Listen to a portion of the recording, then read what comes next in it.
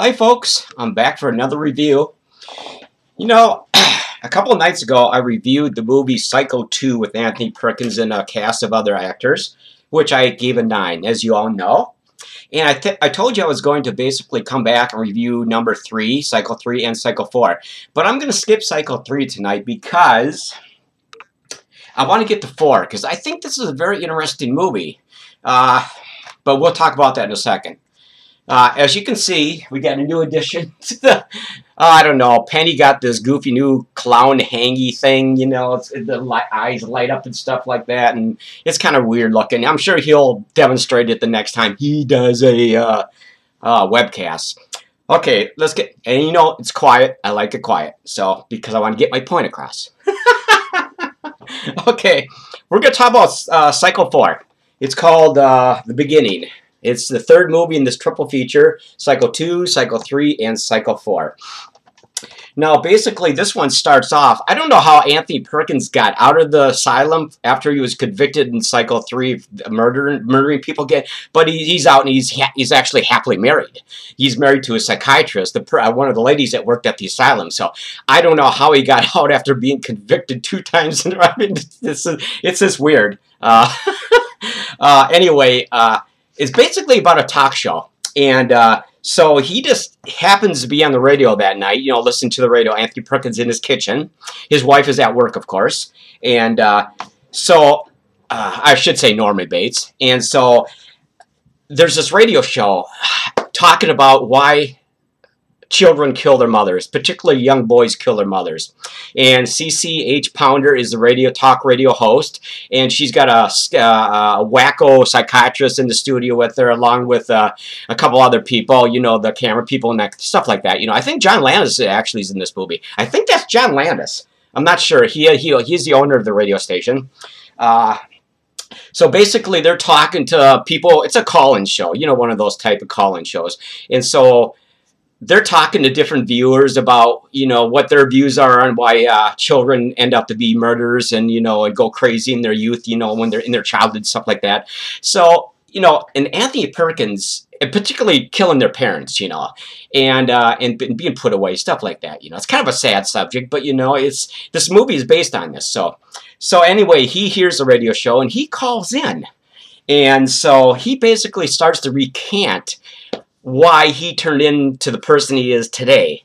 And uh, and anyway, it goes it has flashbacks to his childhood, and he's played by uh, oh god, what's this guy's name?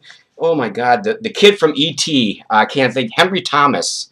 I think he was from E.T. I'm pretty sure. Henry Thomas. Remember the little kid in E.T.? I think it's him. Don't quote me on that. And then Olivia Hussey plays his mother. Oh, she is this unbearable, unrelenting. She is like a bipolar, schizoid. You know, one moment she's happy, the next moment she's, you know, all over the place, you know, and she's, you know, she's going from one relationship to another, and he's completely screwed up, and, you know, he doesn't, you know, he's incredibly shy of girls, you know, and of course his mother isn't helping him any you know because she's completely she thinks everybody's dirty. He shouldn't be involved with nobody you know? And so that's why he's so screwed up you know? He's she's like an overbearing domineering mother you know that just will not let him out of his sight except maybe to go to school or to the grocery store or something like that and uh, it's there's a lot of weird scenes. Now Henry Thomas actually plays him, like I said, and he does actually a pretty good job. He's quiet, you know, he's very shy. He wants to get involved with girls, you know, because he's a teenager, you know, he's coming of age, you know, basically. So he's he's interested in finding a girlfriend and stuff like. Of course, his mother will not allow that, you know, because she just, like I said, she thinks see, everybody's dirty, you know, and she is just a complete wacko. Olivia Hussey plays her. She actually does a pretty good job. And uh, so, you know, the movie just goes back and forth. You know, it shows what he went through as a uh, a young boy and a teenager growing up with his mother. And then Anthony Perkins, Acne, actually Acne Perkins in the radio station is talking to CCH Pounder, the radio host, the lady, and he's telling his story, and then they're doing flashbacks with these other actors portraying him and his mother, which is a very interesting movie. I think it's a very kind of a good idea for a movie. Now, I never saw this movie before, never saw this movie before, but I just happened to stumble upon this a couple years ago. I noticed there was number four. I always thought there was only one, two, and three, and I, there's actually four Psycho movies. Now, there's some there's some rumors that Anthony Perkins did not. He kind of like stayed away from this movie. He thought it wasn't really a well done movie, but I think it's actually a pretty darn good movie. Uh, so basically, uh, you know, he's he's trying to tell this all these radio hosts what what happens and why he became what he did. You know, it has, has flashbacks to when he was a young man and stuff like that, when he was killing people and stuff like that, and you know, and it's really a kind of a creepy and eerie movie. You know, I I think I think this movie is very underrated. You know, a lot of people don't like this as much as 1, 2, and 3, but I think this movie kind of, it fares well against those movies. I think it does. And I think this is a great idea how we, it's called The Beginning because uh, that's that's basically what happened. It's the beginning. That's how everything started with uh, Norman Bates and his mother. Uh, you know, so he you got to feel kind of bad for Anthony Perkins. I mean, Norman Bates, you know, he really was screwed up as a kid, you know. His mother was just a maniacal excuse the, excuse the language, a witch, and she was completely whacked out of her own mind, you know. And she was, like I said, I mean, there's some. It's you know it's, it's here's here's I don't know if you can see this very well. It's right at the bottom here.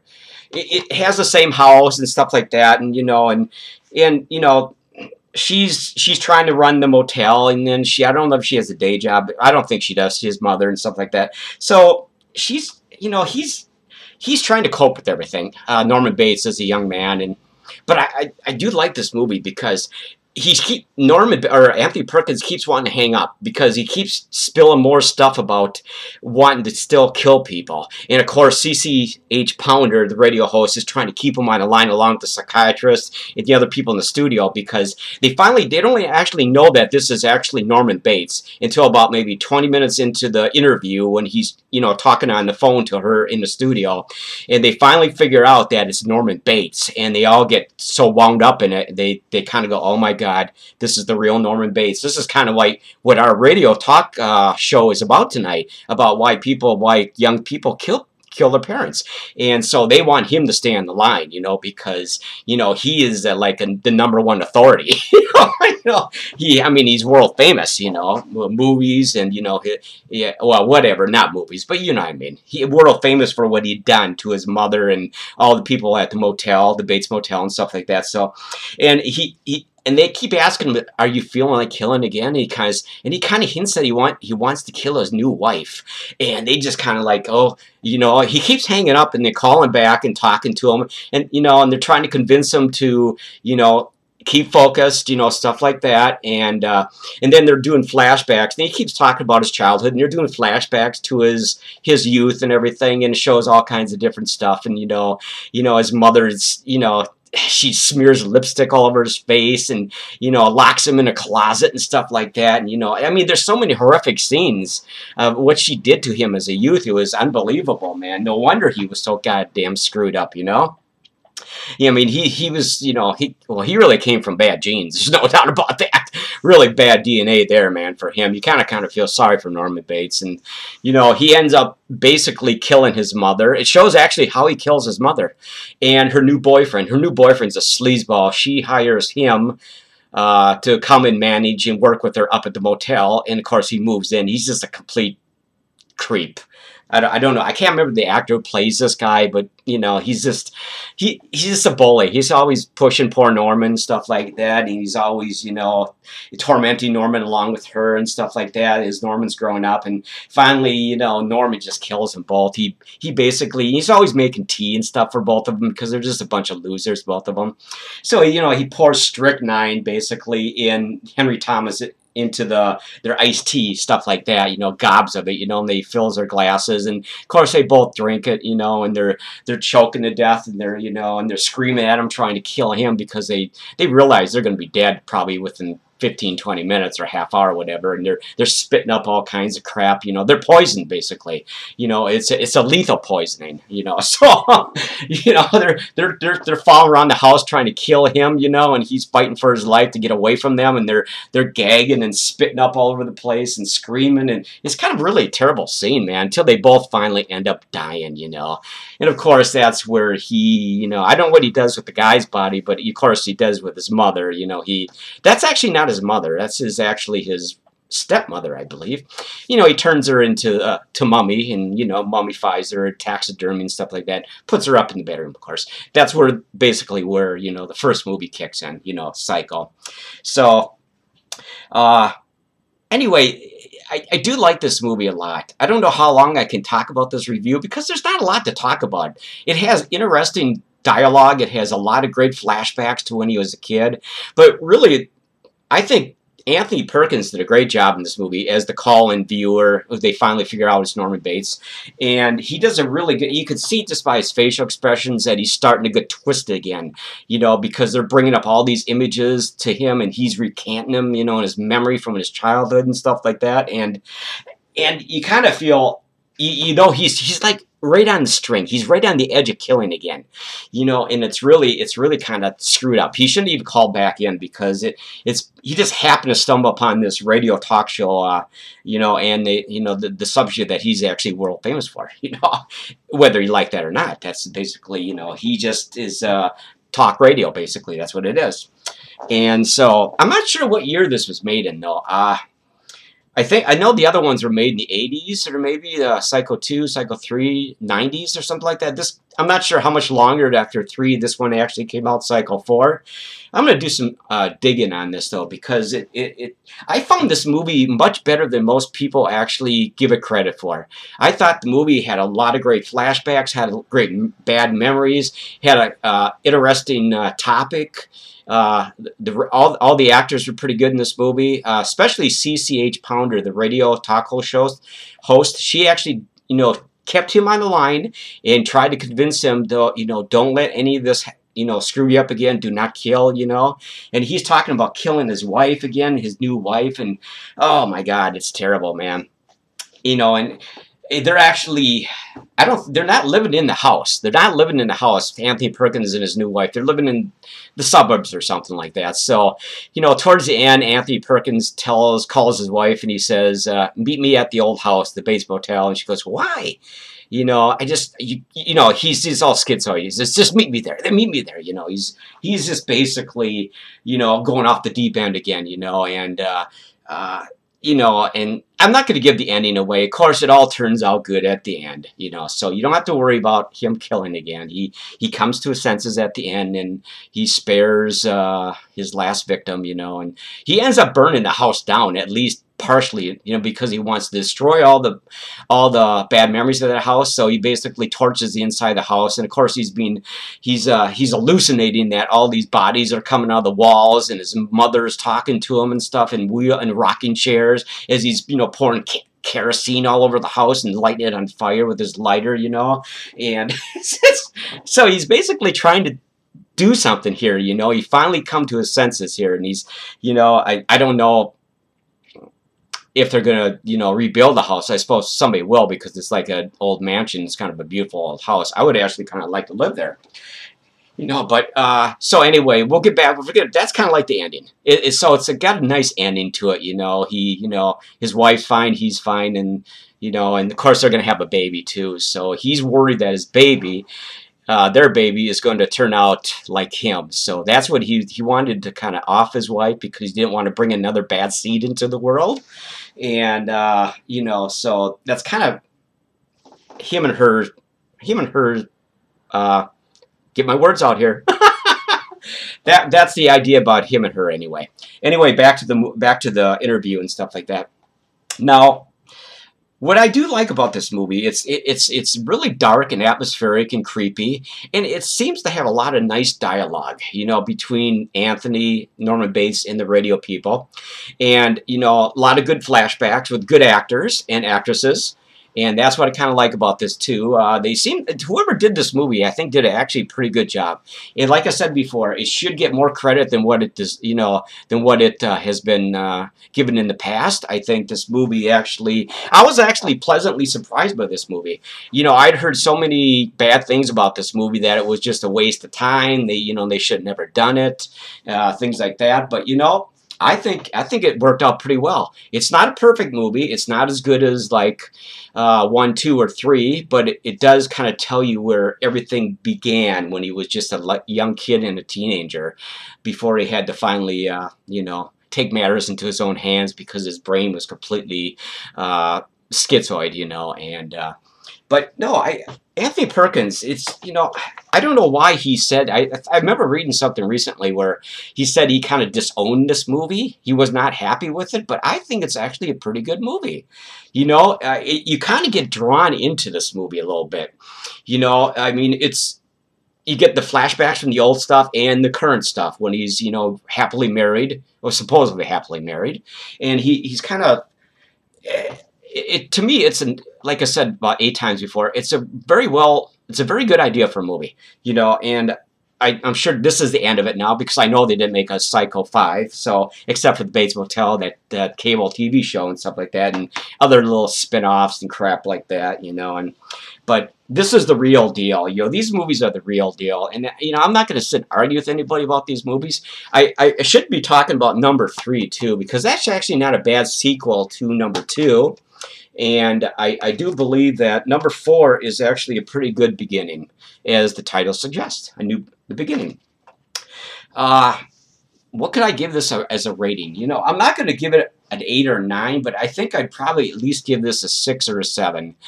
Just because I never knew it existed, like I said before, and I was pleasantly surprised. It, I watched the whole thing in one one straight run, you know, from start to finish one night, uh, maybe about four nights ago. And I actually, like I said before, I actually liked this movie. I kind of got drawn into the story, the his youth story, his past story, and his current story.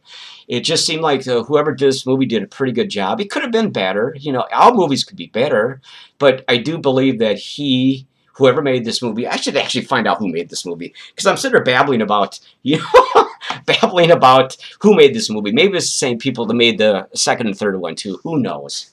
But uh, yeah. Uh, oh, what else can I say about this movie? Let's let's give this movie like a. Uh, let's give it a seven.